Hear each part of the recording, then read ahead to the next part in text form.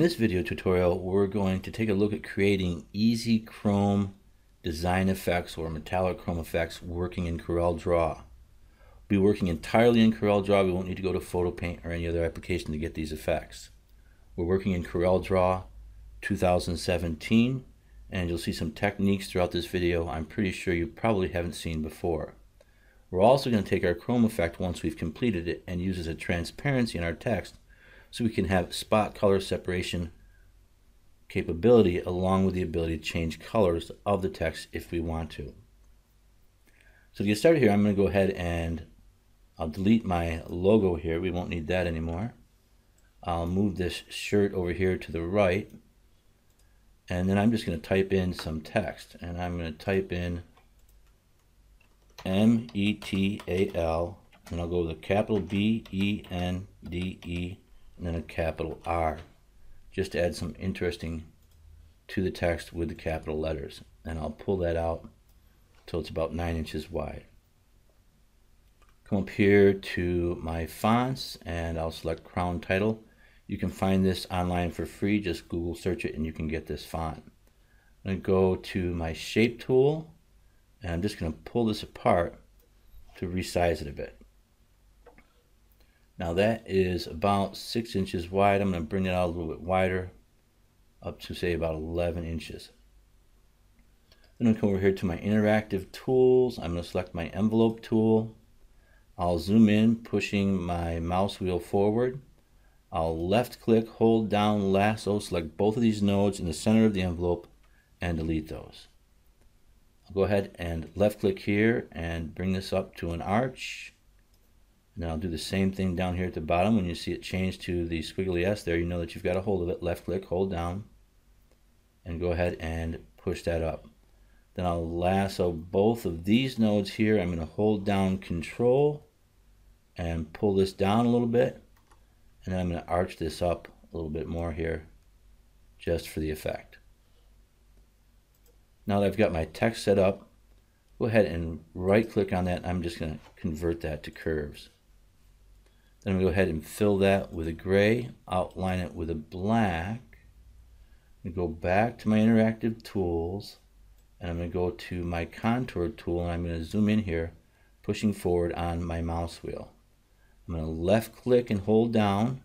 You can see that contour coming out right to about there, making it just a little bit bigger because when I make the chrome effect, I want it to be bigger than my text. So when I power clip it into my text, it'll be nice and clean on the edge. And here you can see that I have my corners set to rounded corners with the contour. Over here and select my pick tool. I'll rest over the contour, right click, break contour group apart. Pull back on my mouse wheel to zoom out, and I'll duplicate this up here. Now it looks like these, I had both of these selected and I don't want that. I want just the contour. There we go left click, hold down, right click one time. You can see the plus sign. That'll duplicate that up here above my original text. The next thing I want to do is make a gradient, but I don't want to go with the interactive fill tool to create my gradient because that's just going to give me a straight gradient and I want a gradient that follows the arch of my text. So to do that I'm going to create a rectangle and I'll create that over here. I'll zoom in here. I'm going to go to my interactive fill tool. I'm going to make this straight, holding down control to constrain it and bring that up. Now down here, I'm going to click on this square and I'm going to change this to a lighter color. By clicking on that arrow, I'll come over here and make that a lighter gray. Then I'll come up here on the line, double click and create a new color area in my fountain fill and I'll make this a darker color. And then I'll do the same thing here double click again. I'm to make this much lighter as you can see there. And then I'm going to come here once again double click. Come here make this darker and you can see the metallic type fill that I'm getting here. I'm to come to this white I'll click on that. I'm to change that to a lighter gray something like that there and then I might come here and make this just a bit darker for that metallic look and that'll be good to go right there. Then I'll go back to my pick tool, go here, right click, and I'm going to get rid of my outline. I'll go ahead and duplicate this. I'm going to go to bitmaps, convert to bitmap.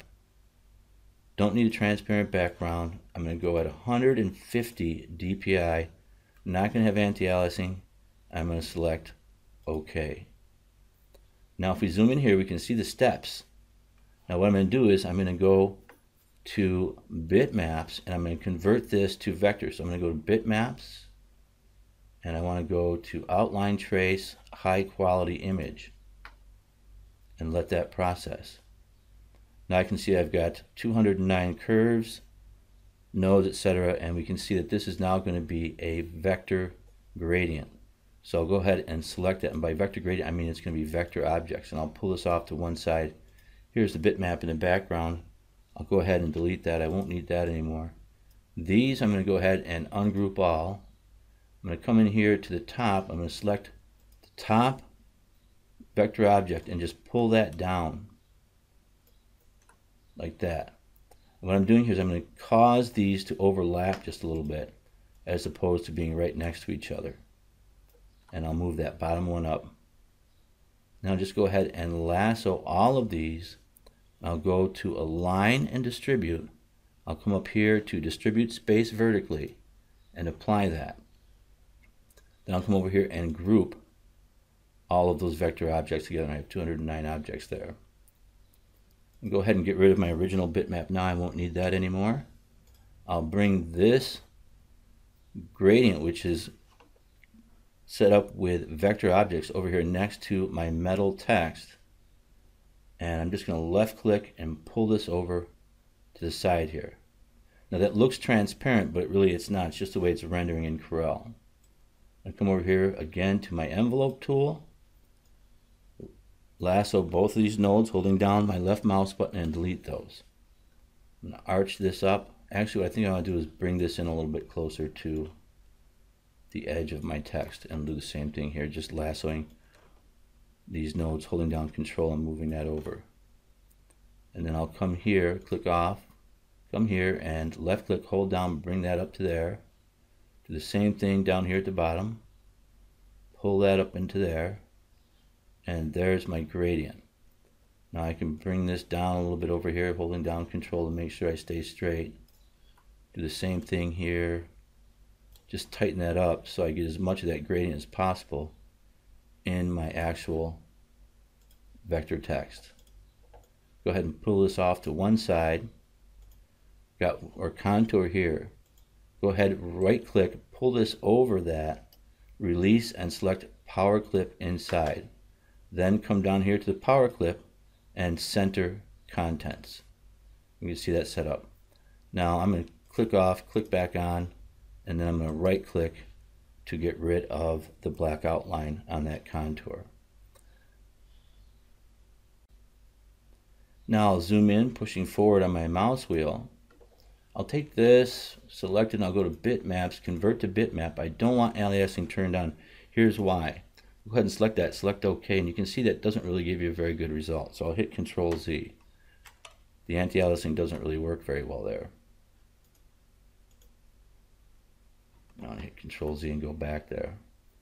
Now with that selected, once again I'll go to bitmaps, convert to bitmap. I'm going to have anti-aliasing off. I'm going to have transparent background and I'm going to change this to 300 DPI. I'm going with RGB and select OK. And now you can see that my gradient looks great and it's also following the shape of my text, which was the result that I wanted. I'll now go to bitmaps. I'm going to go to blur Gaussian blur. I'm just going to do one pixel that I'll be like doing my anti-aliasing and select OK. I'm going to go to bitmaps, come down to texture. I'm going to click on plastic. And we can see that effect taking shape. I'm going to take my depth here, bring that up. My highlight, you can see I can adjust that. And that'll make some adjustments. You can see the color get lighter, etc. I'm going to smooth this out quite a bit here to right about there and then I'm going to select OK. So the next step is, is that I'll go ahead and lasso this so we can see what's going on while we're working on it. I'm going to go to Effects, Adjust, and Tone Curve. Now this is set to straight. I'm going to collapse this preview. I'm going to change this to curve. I'm going to start creating a squiggly line throughout my tone curve here, going in different directions and different heights, creating the chrome effect. And you can already see that effect starting to take shape. And I'll come drag something down here like this, say right there, and then we'll do the same here. And we'll do some more here. Bring this over this way just a little bit. Pull this down. Sure I got that. Pull that down a little bit there. And you can see that chrome effect starting to take shape. And I'll pull some of this over this way.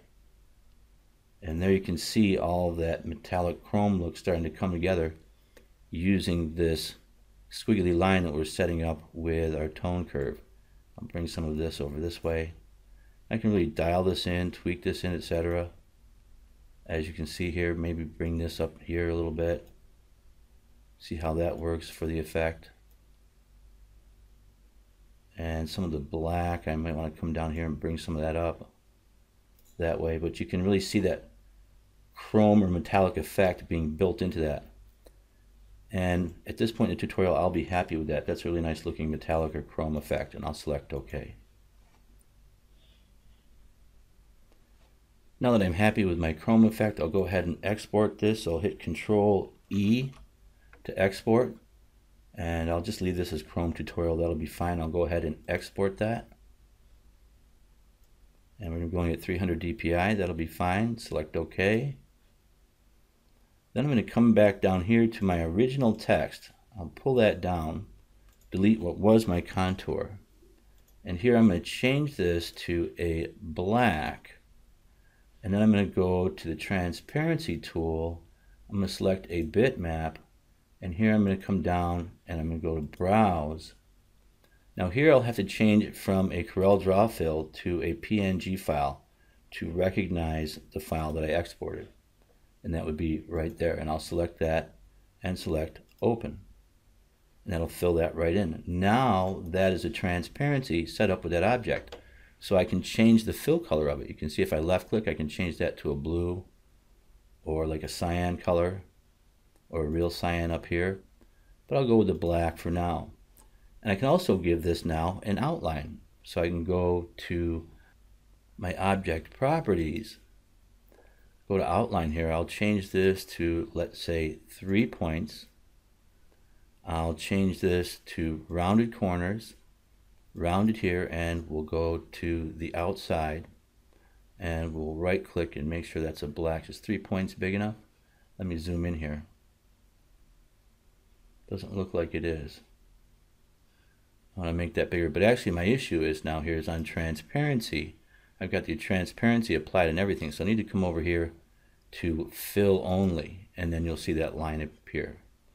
Also, what you'll want to do is you'll want to go to your edit transparency and select transform with object. Let me hit cancel here and I'll show you why. If I resize this, you'll see that the transparency did not resize with the object. I'll hit control Z, we'll go back there and we'll click on transform with object select OK. Now there's a little bug here that got rid of my outline so I have to go back and put that back.